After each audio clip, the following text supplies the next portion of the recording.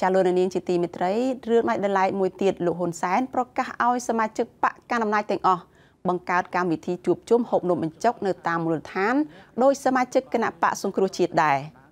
ចានឹងបានបង្គាប់ឲ្យហៅមន្ត្រីគណៈបកប្រឆាំងណាដែលគ្មានលទ្ធភាពទិញនំបញ្ចុកនោះឲ្យទៅហូបនំបញ្ចុកជាមួយគ្នាផងលោកហ៊ុនសែនប្រធានគណៈបកប្រជាជនកម្ពុជាប្រកាសយកកំណត់យកថ្ងៃទី9ខែមិថុនាដើម្បីធ្វើកម្មវិធីហូបនំបញ្ចុកសម្រាប់សមាជិកគណៈបកកណ្ដាលអំណាច នៅទូទាំងប្រទេសដោយទៅនឹងគណៈបកសង្គ្រោះជាតិដែរចាលោកហ៊ុនសែនឲ្យសមាជិកបករបស់លោកត្រូវទិញនំបញ្ចុកចែកគ្នាហូបព្រោះនៅពេលដែលចុះទៅពង្រឹងបកនឹងត្រូវអញ្ជើញសមាជិកគណៈបកប្រឆាំងឲ្យមកហូបជាមួយគ្នាផងហើយបើគណៈបកប្រឆាំងនោះគ្មានលទ្ធភាពទិញនំបញ្ចុកហូបចាលោកហ៊ុនសែនអះអាងថានេះគឺជាយុទ្ធសាស្ត្រហូបនំបញ្ចុកវាយបកគណៈបកសង្គ្រោះជាតិដែលលោកបានរិះគិតឃើញ។ នាំគ្នាចុះមូលដ្ឋានរៀបចំនំបញ្ចុកឲ្យសមាជិកគណៈបព្វជិជនស៊ីថ្ងៃ9ខែមិថុនានេះមិនមែនយកបលាជួបលាទេយកបថៅវៃប្របាក់បលានឹងកវត្តចោលបណ្ដោយកុំឲ្យវាចង្រៃពេកថ្ងៃក្រោយឯងប្រកាសស៊ីនំគ្រក់អញក៏ស៊ីនំគ្រក់ឯងប្រកាសស៊ីបាញ់ឆាវអញក៏ប្រកាសស៊ីបាញ់ឆាវលើកលែងតែឯងប្រកាសស៊ីដុំថ្មឯងជ្រះតែឯងទៅមើលកុំឲ្យវាខូចពេកមើលល្បិចប៉ុណ្ណេះវាស្រួយស្រួយស្ដើងណាឥឡូវទៅនាំគ្នាស៊ីនំបញ្ចុកឥឡូវបើគេយកអាទីវាថ្ងៃ9ធ្វើទីទីវានំបញ្ចុកយើងក៏ប្រកាសយកអាថ្ងៃ9នឹងស៊ីនំបញ្ចុកស៊ីឲ្យព្រាតហើយបើវាខ្វះខាងវាខ្វះអាពួកផ្កាប់មុខវាខ្វះនំបញ្ចុកស៊ីហៅវាមកចូលស៊ីមកហើយបើវាហៅយើងទៅចូលស៊ីយើងក៏ទៅចូលស៊ីជាមួយវាទៅ ចាការថ្លែងរបស់លោកហ៊ុនសែននេះធ្វើឡើងនៅព្រឹកថ្ងៃទី3ខែមិថុនានេះនៅក្នុងឱកាសដែលលោកចុះចែកសញ្ញាបត្រដល់និស្សិតនៅសាកលវិទ្យាល័យភូមិន្ទភ្នំពេញ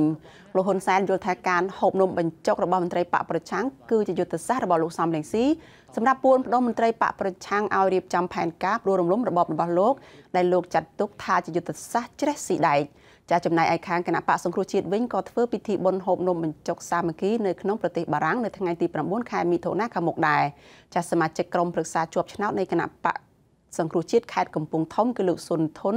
ប្រាប់ថាការហូបនំបញ្ចុករបស់មន្ត្រីបកប្រឆាំងកន្លងមកនេះគឺដោយសារតែពួកគេគ្មានលុយហូបគុយទាវមិនមែនដោយសារតែជាការប្រមូលផ្ដុំផ្ដួលរំលំរដ្ឋាភិបាលនោះទេអ្វីបើលោកសុនធុនស្វាគមន៍ប្រសាសន៍របស់លោកហ៊ុនសែនតែលោកចង់ឲ្យលោកហ៊ុនសែនបញ្ជាឲ្យមន្ត្រីបកកណ្ដាលអំណាចអញ្ជើញមន្ត្រីបកសង្គ្រោះជាតិដោយស្មោះត្រង់កុំក្រឡាស់កុំធ្វើទុកបុកម្នេញមន្ត្រីបកប្រឆាំងដែលគ្រាន់តែជួបគ្នាហូបនំបញ្ចុកនោះតទៅទៀត។ ក្នុងឋានៈជាមន្ត្រីរបស់គណៈបកសង្គ្រោះជាតិខេត្តគង់កំមួយរូបណាអបអរសាទរណាកុំឲ្យកែប្រែពាក្យសម្ដីហ្នឹងសូមឲ្យពាក្យសម្ដីហ្នឹងឲ្យបរិសុទ្ធនិយាយយ៉ាងម៉េចឲ្យធ្វើអញ្ចឹងហើយកុំឲ្យមន្ត្រីខាងក្រោមរបស់គាត់ប្រព្រឹត្តអំពើធ្វើទុកបុកម្នេញដល់មន្ត្រីគណៈបកសង្គ្រោះជាតិដូចកន្លងមកទៀតណាខ្ញុំសង្ឃឹមអញ្ចឹងបាទខ្ញុំផ្ដាំទៅសម្ដេចនាយករដ្ឋមន្ត្រីវិញថាពីថ្ងៃនេះតទៅពីថ្ងៃទី3សូមឲ្យមន្ត្រីគណៈបកប្រជាជនទាំងអស់ពីលើដល់ក្រោមឈប់ធ្វើទុកបុកម្នេញគណៈបកសង្គ្រោះជាតិក្នុងការទទួលទាននំប្រយុទ្ធហើយអ្វីក៏ដោយជួបជុំគ្នាហើយកើតពីនំប្រយុទ្ធហើយ ចាសមាជិកក្រុមអ្នកវិភាគវ័យក្មេងគឺលោកបងដាតយល់ថាលោកហ៊ុនសែនចង់បង្កើតរូបភាពឲ្យសមាជិកគណៈបកកាន់អំណាចហូបនំបញ្ចុកដែរនេះដើម្បីបំភាន់ភ្នែកពលរដ្ឋថាបកកាន់អំណាចមានអ្នកហូបនំបញ្ចុកច្រើនជាងចាលោកបងដាតបន្តថាលោកហ៊ុនសែនក៏ចង់បង្ហាញភាពទន់ភ្លន់ដើម្បីលាក់បាំងសហគមន៍អន្តរជាតិថាសហសភាពការនៅក្នុងប្រទេសកម្ពុជានេះគឺមានភាពល្អប្រសើរតែប៉ុណ្ណោះ។ ខ្ញុំយល់ថាលោកសំរងស៊ីគាត់នឹងមានយុទ្ធសាស្ត្រមួយទៀតហើយខ្ញុំជឿថាលោកហ៊ុនសែននឹងដើរតាមលោកសំស៊ីដែរអញ្ចឹងយុទ្ធសាស្ត្ររបស់នេះខ្ញុំជឿថាមិនមែនជាយុទ្ធសាស្ត្រលក្ខណៈបែប long term ទេវាមានលក្ខណៈយូរអង្វែងទេគឺថាយុទ្ធសាស្ត្រដើម្បីតបស្កាត់ទេអញ្ចឹងតបស្កាត់នៅពេលគេប្រើយុទ្ធសាស្ត្រអីមួយគាត់ប្រើយុទ្ធសាស្ត្រមួយដើម្បីតបស្កាត់អញ្ចឹងនៅប្រើយុទ្ធសាស្ត្រជន់លើយុទ្ធសាស្ត្រដូចគ្នាអញ្ចឹងគឺថាគណៈបព្វជិជនកម្ពុជាគាត់បង្ហាញហើយគាត់បង្ហាញពីភាពទល់ច្រករបស់គាត់គោលជំហរនយោបាយដើរតាមលោកសំស៊ីវិញ ចាក្រៅពីអ្នកនយោបាយក្រុមអង្គការសហគមន៍អន្តរជាតិនិងជាតិទាមទាររបបក្រុងភ្នំពេញបញ្ឈប់ការធ្វើទុកបុកម្នេញមន្ត្រីនិងសកម្មជនបកប្រឆាំងជាបន្ទាន់ចាលោកនាងជាទីមេត្រីចាជាបន្តទៅទៀតនេះចាពាក់ព័ន្ធទៅនឹងការហូបនំបញ្ចុកនិងការដំណើរមកស្វែងរកការពិតរបស់មន្ត្រីនៃសហភាពអឺរ៉ុបនេះចានេះខ្ញុំមានសម្ភារផ្ទាល់មួយចាជាមួយនឹងកញ្ញាលីស្រីស្រស់ដែលជាប្រធានក្រុមអ្នកវិភាគវ័យក្មេងចាសូមអនុញ្ញាតជំរាបសួរកញ្ញាលីស្រីស្រស់ចាសូមជំរាបសួរបងចា ស្រីស្រស់អឺពេលនេះគឺហាក់ដូចជាមានភាពចម្រូងចម្រាសគ្នារវាងអឺភាគី2គឺភាគីញ៉ាំនំបញ្ចុកគ្រប់គ្រងរដ្ឋាភិបាលនិងភាគីដែលញ៉ាំនំបញ្ចុកអឺមិនគ្រប់គ្រងរដ្ឋាភិបាលចំពោះកញ្ញាលីស្រីស្រស់ចាដែលជាអ្នកវិភាគវ័យក្មេងហើយក៏ជាយុវជនផងនឹងតើយល់ឃើញយ៉ាងម៉េចចំពោះការលើកឡើងភាពប្រទាំងប្រទើសគ្នាការឌឺដងដាក់គ្នានៅក្នុងការហូបនំបញ្ចុកនេះចាអរគុណ តែប៉ុតបើខ្ញុំមើលថានៅពេលដែលយើងមានការទំនាស់ក៏ដូចជាការលើកឡើងអំពាក់ព័ន្ធជាមួយទៅនឹងនយោបាយដោយប្រើប្រាស់ជាមួយនឹងការពាក្យពេចន៍អីទាំងអស់ហ្នឹងខ្ញុំមើលឃើញថាវាអាចគ្រាន់បើជាងការប្រើប្រាស់កម្លាំងឬក៏ការប្រើប្រាស់អឺអាវុធឬក៏អីចឹងទៅប៉ុន្តែនៅក្នុងបរិបទនេះអឺជុំវិញតេតិនជាមួយនឹងការហូបនំបញ្ចុកដើម្បី នំបញ្ចុកដូចគ្នាខ្ញុំមើលឃើញថាវាជារឿងមួយដែលមិនប៉ះពាល់ដល់សង្គមយើងទេប៉ុន្តែខ្ញុំគ្រាន់តែចង់បង្ហាញថាអញ្ចេះថានៅបើសិនជាលោកនាយករដ្ឋមន្ត្រីហ៊ានប្រកាសជាសាធារណៈអំពីជំហរចង់ឲ្យប្រជាពលរដ្ឋចង់ឲ្យគណៈបកអឺប្រជាជនកម្ពុជាហូបនំបញ្ចុកអឺអាហ្នឹងវាជារឿងមួយល្អហើយប៉ុន្តែយើងត្រូវមើលថា កុំឲ្យតែគ្នាខ្លួនឯងហូបហើយអត់មានបញ្ហាហើយនៅពេលដែលអតីតគណៈបកប្រឆាំងឬក៏ប្រជាពលរដ្ឋណាដែលខាងរដ្ឋាភិបាលមើលទៅថាมันអាចជាបពពួកឬក៏គ្នាគាត់ហូបបើទៅជាមានបញ្ហាចឹងបើសិនជាអានេះបានជាបញ្ហាអញ្ចឹងបើសិនជាលោកនាយករដ្ឋមន្ត្រីហ៊ានប្រកាសអញ្ចឹងយើងហ៊ានគាត់គួរតែហ៊ានប្រើប្រាស់យុទ្ធសាស្ត្រអឺដែលដូចគ្នាកុំឲ្យប្រើថា គណៈបកប្រជាជនឬក៏អ្នកដែលឆ្លាញ់រដ្ឋាភិបាលហូបទៅអត់មានបញ្ហាដល់ទៅពេលខាងគណៈបកប្រឆាំងឬអតីតគណៈបកប្រឆាំងឬក៏អ្នកដែលគ្រប់គ្រងអតីតគណៈបកប្រឆាំងហ្នឹងគាត់ហូបទៅបែរទៅជាមានការកោះហៅចូលទៅក្នុងពុនចូលទៅក្នុងតឡាការអំពីការហូបនំបញ្ចុកអីទាំងអស់ហ្នឹងអាហ្នឹងបានជារឿងមួយដែលវាគិតថាយើងគិតថាវាមិនមែនជាការអនុញ្ញាតឲ្យស្មើភាពនៅក្នុងសង្គមទេ ចាអឺស្រីស្រស់មានការលើកឡើងនៅទស្សនៈមួយដែលថាហូបនំបញ្ចុកជុំគ្នា ដើម្បីសាមគ្គីជាតិដើម្បីអឺចានិយាយថាមានការរួបរวมគ្នាឬក៏មានមតិទង្វើដូចគ្នាអឺ មានការលើកឡើងថាបើយើងញ៉ាំនំបញ្ចុកជុំគ្នាបានន័យថាមានទាំងគណៈបកកណ្ដាលអំណាចមានទាំងគណៈបកប្រឆាំងហើយសង្គមស៊ីវិលហ្នឹងញ៉ាំនំបញ្ចុកជុំគ្នាទៅទៅជែកគ្នាទៅដើម្បីកសាងជាតិយើងហ្នឹងវាជាការល្អមួយដែរនេះជាទស្សនៈមួយលើកឡើងតើស្រីស្រស់យល់ឃើញយ៉ាងម៉េចចាចំពោះការលើកឡើងនេះចាខ្ញុំខ្ញុំក៏គ្រប់គ្រងជាមួយនឹងការយកនំបញ្ចុកយកមកហូបធ្វើជាអាហារហើយ មានការជជែកពីខាងរដ្ឋាភិបាលខាងសង្គមស៊ីវិលឬគណៈបកប្រឆាំងនៅលើតុកតាមួយខ្ញុំគិតថាវាជាចេតនាមួយវាជាសកម្មភាពមួយដែលសូម្បីតែខ្ញុំជាយុវជនក៏ខ្ញុំមើលឃើញថាវាជាអឺសកម្មភាព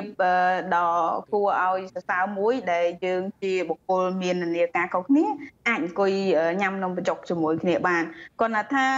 ដូចខ្ញុំលើកឡើងខាងដើមអញ្ចឹងប្រយ័ត្នមកញ៉ាំនំបញ្ចុកនៅជុំគ្នានឹងហើយពេលចេញទៅវិញ ស្រាប់តែមានការកោះហៅអីផ្សេងផ្សេងពាក់ព័ន្ធជាមួយទៅនឹងផ្លូវច្បាប់អាហ្នឹងវាជារឿងមួយទៀតដែលថាការ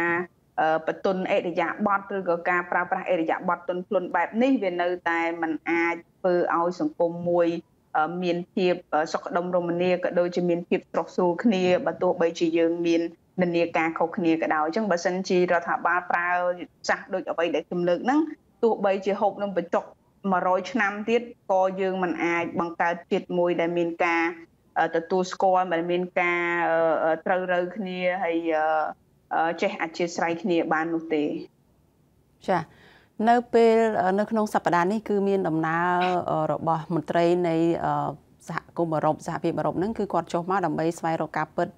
ជាថ្មីម្ដងទៀតពីរឿងសិទ្ធិមនុស្សនិងប្រជាធិបតេយ្យការអនុវត្តនៅក្នុងប្រទេសកម្ពុជាយើងនឹងហើយវាស្របពេលគ្នានឹងលោកនាយករដ្ឋមន្ត្រីហ៊ុនសែនហ្នឹងក៏បានប្រកាសថានាំគ្នាញ៉ាំនំបញ្ចុកជុំគ្នារវាងគណៈបកការអំណាចរបស់លោកនឹងនិងអ្នកដែលគ្រប់គ្រងគណៈបកប្រឆាំងនៅតាមមូលដ្ឋាននេះតើវាអាចជាការដូចជាការលើកឡើងថាវាគ្រាន់តែជាការបន្លំភ្នែកដើម្បីធ្វើឲ្យមតិ អន្តរជាតិនឹងមើលមកឃើញថាលោកហ៊ុនសែនដូចជាបន្ធូរបន្ថយអីអាចឲ្យ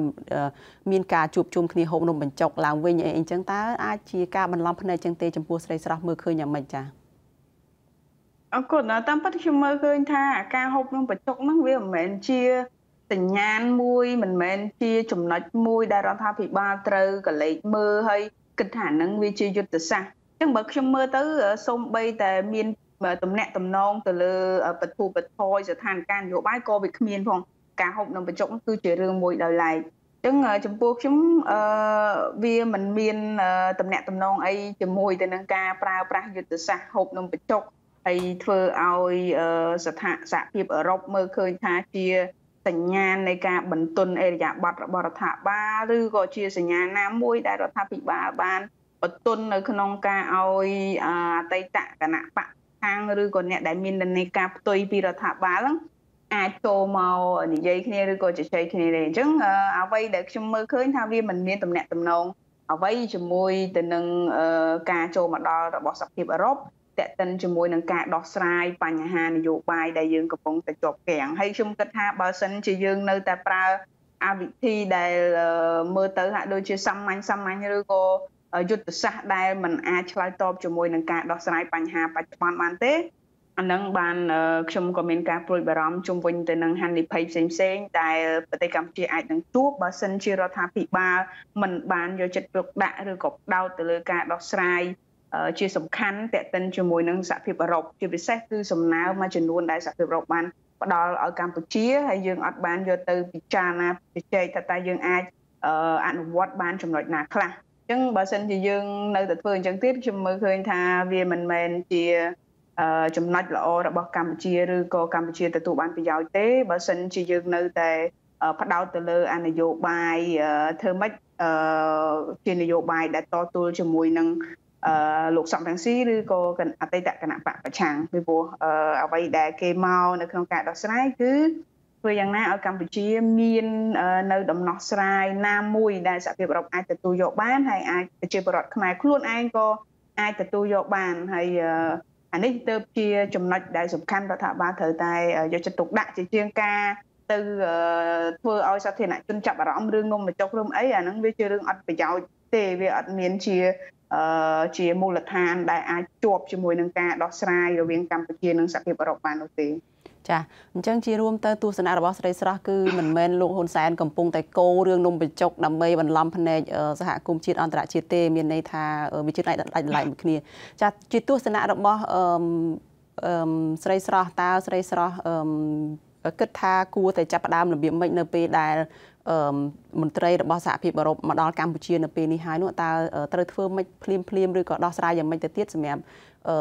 ដោយដែលស្រីស្រស់លើកឡើងថាដើម្បីបានជាប្រយោជន៍របស់ប្រជាជាតិយើងប្រទេសជាតិយើងនោះចា៎អឺវាមានរឿងពីរទី1រឿងរដ្ឋាភិបាលត្រូវធ្វើហើយទី2យើងត្រូវមើលថាតើបុគ្គលិកលក្ខណៈក៏ដូចជាជំហររបស់រដ្ឋាភិបាលនេះគឺមានជំហរគ្រប់គ្រាន់ដែរឬទេនៅក្នុងការដោះស្រាយមួយសហភាពអឺរ៉ុបអឺ ជំពាក់ព័ន្ធនឹងចំណុចទី1ថាតើយើងគួរធ្វើម៉េចខ្ញុំជាអ្នកឬក៏ជាយុវជនដែលតាមដានស្ថានភាពនយោបាយចំពោះខ្ញុំខ្ញុំមានការសប្បាយចិត្តបើសិនជារដ្ឋាភិបាលអាចបន្តនៅក្នុងការពិនិត្យមើលទៅលើចំណុចដែលសហភាពអឺរ៉ុបបានផ្ដល់ឲ្យកម្ពុជាហើយយើងអាចមានដំណោះស្រាយនយោបាយណាមួយឬក៏មានកិច្ចចរចាណាមួយឬក៏ការបើកផ្លូវឲ្យសង្គមស៊ីវិល ស្ថិតនៅក្នុងបរិយាកាសមួយដែលទទួលយកបានអានេះខ្ញុំគិតថាវាជាចំណុចសំខាន់មួយរដ្ឋាភិបាលគួរតែពិនិត្យមើលទៅលើចំណុចអស់ហ្នឹងប៉ុន្តែខ្ញុំស្របពេលនេះដែរក៏ខ្ញុំបារម្ភដែរដោយសារតែកន្លងមករដ្ឋាភិបាលហាក់ដូចជាបានបង្ហាញចំហច្បាស់អំពីអឺ ជំហរខ្លួនឯងតេតិនជាមួយទៅនឹងសហភាពអឺរ៉ុបដូចជាមានការកំណែតម្រង់ដូចជាមានការអីចឹងទៅវាអាចជាសញ្ញាណមួយដែលអាចធ្វើឲ្យយើងដឹងថារដ្ឋាភិបាលហាក់ដូចជាមិនមានឆន្ទៈនៅក្នុងការពិចារណាទៅលើចំណុចដែលសហភាពអឺរ៉ុបបានផ្ដល់ឲ្យយើងទេអញ្ចឹងមកដល់ពេលនេះខ្ញុំមើលទៅហាក់ដូចជាមិនសូវខ្វល់ថាទោះបីជាមានអ្នកណាកាត់ប្រព័ន្ធអនុគ្រោះពន្ធយ៉ាងម៉េចក៏ដោយក៏កម្ពុជាអាច នឹងទៅមុខបានដែរប៉ុន្តែអានេះវាជាចំហគាត់ថាជាងដឹងហើយចំហគឺជាចំហប៉ុន្តែចំហมันបានឬក៏มันមានអតិពលដែលធ្វើឲ្យផលប៉ះពាល់នឹងកាត់បន្ថយឯងអញ្ចឹងខ្ញុំមានការបារម្ភដែរបើសិនជារដ្ឋាភិបាលនៅតែរក្សាចំហនេះរហូតទៅដល់ប្រហែលខែខាងមុខទៀតកម្ពុជាពិតជាមានផលលំបាកនៅក្នុងការជៀសវាងឲ្យផុតអំពីហានិភ័យផ្សេងផ្សេងជាពិសេសពាក់ព័ន្ធជាមួយទៅនឹងសេដ្ឋកិច្ចរបស់កម្ពុជា ហើយដូចខ្ញុំលើកឡើងដែរថាការប្រែប្រួលនយោបាយពេលខ្លះវាអាចមានលក្ខណៈហួសពេលនៅពេលដែលរយៈពេលដែលគេកំណត់ឬក៏សហភាពអឺរ៉ុបបានកំណត់អំពីការសម្រេចចិត្តរបស់គេហើយអញ្ចឹងមានន័យថាអ្វីអ្វីគឺវាហួសពេលបើសិនជាយើងចង់មានការកែប្រែស្ថានៅការនយោបាយណាមួយក៏វាមានផលលំបាកនៅក្នុង ការកែប្រែដែរដោយសារតែការសម្រេចចិត្តរបស់សហភាពអឺរ៉ុបគឺជាការសម្រេចចិត្តដែលប្រើរយៈពេលវែងហើយបើសិនជាចង់ឲ្យអឺកែប្រែវិញវាមានផលលំបាកដូច្នេះខ្ញុំគិតថារយៈពេលនេះវាមិនទាន់ជាពេលមួយដែលហួសពេលទេបើសិនជារដ្ឋាភិបាលអាចពិចារណាទៅលើចំណុចផ្សេងផ្សេងដែលសហភាពអឺរ៉ុបបានដាក់ឲ្យមកកាន់កម្ពុជាយើងចា៎ អមសំណួរចុងក្រោយស្រីស្រស់ថាតើហេតុអ្វីបានជាស្រីស្រស់យល់ឃើញថារដ្ឋាភិបាលដូចជានៅតែប្រកាន់ជំហរអឺមិនមិនព្រមមានការកែប្រែដើម្បីទទួលបានការអនុគ្រោះពន្ធតទៅទៀតនឹងចា៎អឺខ្ញុំគិតថាអឺប្រទេសកម្ពុជាយើងកាន់លទ្ធិប្រជាធិបតេយ្យប៉ុន្តែអឺប្រហែលជាមិនមែនតែខ្ញុំម្នាក់ឯងទេដែលមើលឃើញអំពី ការប្រែប្រួលឬក៏ការវិវត្តខ្លាំងតាំងពីឆ្នាំ2013មកកាន់មកដល់ពេលនេះអញ្ចឹងការវិវត្តនេះគឺជាការវិវត្តមួយតេតិនជាមួយនឹងការរីកដុះដាលនៃលទ្ធិប្រជាធិបតេយ្យអញ្ចឹងខ្ញុំមើលឃើញថាវាជាចំណុចមួយនៃជាហេតុផលមួយរបស់គណៈបកកណ្ដាលអំណាចដែរដែលយើងដឹងហើយថាប្រជាប្រិយភាពរបស់គណៈបកប្រជាជនក៏ចាប់ផ្ដើមធ្លាក់ចុះដែរ នៅពេលដែលមានវត្តមានគណៈបកប្រឆាំងអាហ្នឹងវាជាចំណុចមួយសំខាន់ហើយបើតាមខ្ញុំសង្កេតទៅខ្ញុំមើលឃើញថាចំណុចសំខាន់ដែលរដ្ឋាភិបាលក៏ដូចជាគណៈបកប្រឆាំងនៅតែរក្សាជំហរមិនចរចាឬក៏មិនធ្វើ